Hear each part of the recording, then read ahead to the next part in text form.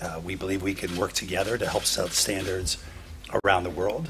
We've had somewhat different approaches to doing so in our previous uh, FTAs, but I think our goals remain quite aligned in terms of, of trying to achieve that.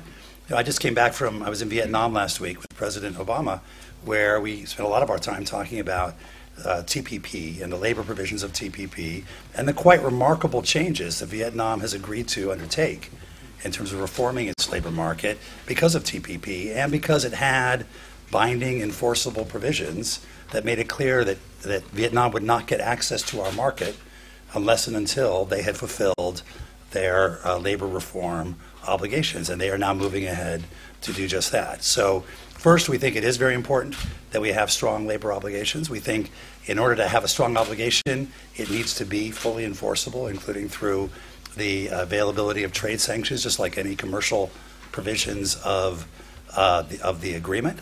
Uh, we think that that's a, a, best practice of sorts that has really helps encourage countries uh, to do that. Um, and we look forward to working with the EU on that. I think in terms of engagement with labor, we have an ongoing dialogue with labor. We have somewhat different ways of doing it in the US and the EU. We have the system that Congress created called cleared advisors, uh, where we have a labor advisory committee that opines not just on the labor chapter, but on the whole agreement. They see the whole agreement, they see all of our proposed text, they comment on all of it. We meet with them regularly, uh, both at the principal level, the head of the unions, as well as at the staff level. Um, and we believe that's an important part of our dialogue with them, as well as our dialogue with members of Congress who have labor issues as a, as a priority issue. And the same is true whether it's on the environment or uh, consumer rights or, or other issues that are important in the agreement.